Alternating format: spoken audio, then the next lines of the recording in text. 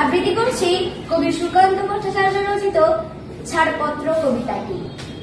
যে শিশু ভূমিষ্ঠ হলো আজ রাত্রে, তার মুখে খবর পেলুম, সে পেয়েছে ছাড়পত্রে নতুন বিশ্বের দ্বারে তাই ব্যক্ত করে অধিকার জন্মমাত্র সুতীব্র চিৎকারে। খর্বদেহ নিঃসহায়, তবু তার মুষ্টিবদ্ধ, হাত উত্থলিত উদ্ভসিত কি এক দুর্বোধ্য প্রতিজ্ঞায়? সে ভাষা বোঝে না কেউ। কেউ হাসে, কেউ করে মৃদু তিরস্কার। আমি কিন্তু মনে মনে বুঝেছি সেই ভাষা। পেয়েছি নতুন চিঠি আসন্ন যুগে। পরিচয়পত্র পড়ি ভূমিষ্ঠ শিশু, অস্পষ্ট কুয়াশা ভরা চোখে। এসেছে নতুন শিশু, তাকে ছেড়ে দিতে হবে স্থান।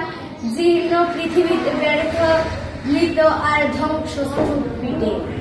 চলে যেতে হবে আমাদের। চলে যাব, তবু আজ যতক্ষণ দেহে আছে প্রাণ।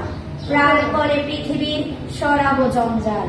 এই বিশ্বকে, এই পৃথিবীর বাসযোগ্য করে যাব আমি। নবজাতকের কাছে এ আমার দৃঢ় অঙ্গীকার। অবশেষে সব কাজ সেরে আমার দেহে রক্তে নতুন শিশুকে করে যাব আশীর্বাদ, তারপর হব ইতিহাস। এই তার